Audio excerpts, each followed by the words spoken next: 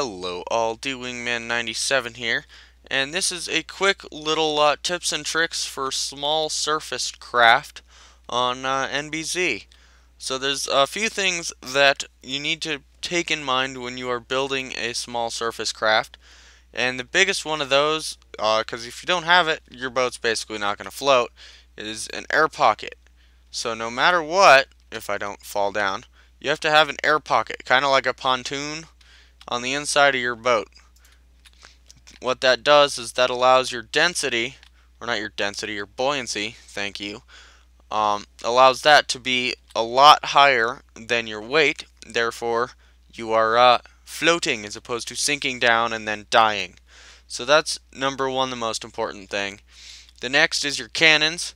You have to be able to uh, see them and uh, preferably touch them from a helm that makes you uh, way too overpowered. Um, the third thing is when you first get on the boat, your main ship sign needs to be the most protected, which is why it's in the middle, protected by this and this and this and all this craziness. And then uh, the last thing, always have a little bit of cake, or I guess this would be pie. God, that's such a great skin for pie. And uh, some AA guns are uh, always a good little trick. Let me show you what I mean. Assuming that it'll let me select it. Warp War World 1. Doing the flying thing. Fly. Alright, somebody deleted the door. Whoa! Okay, laggity lag. Can I fly? Please let me fly.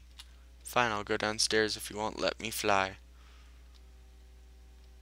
Alrighty. Whoa! Come on, thing. There, now I can fly. Whee! Alright, let's go fly over to a wonderful uh, little dock area. And I want to be right here. Assuming that this is a ship 1 and not a ship 5. Go figure it is. We'll go up to the other one.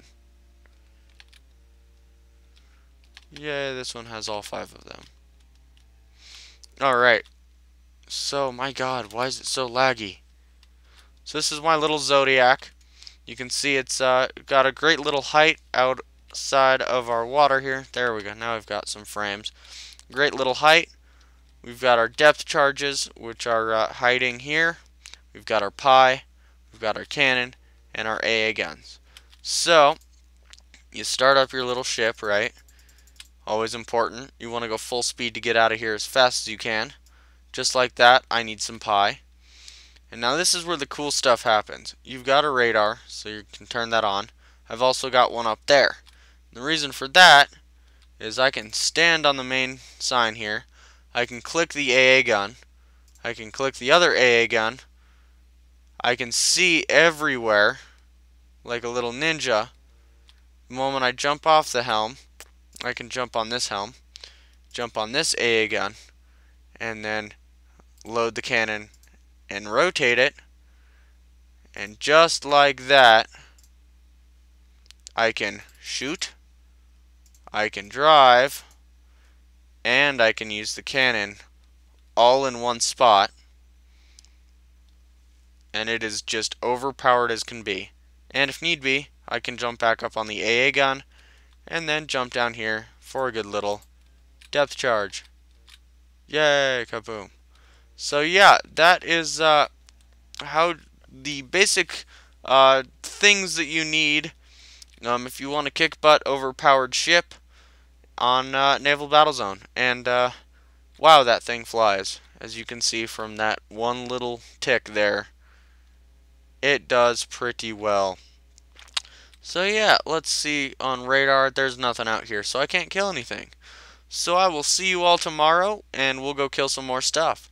Thank you all for watching. Like, subscribe, and comment, and I will see you all later.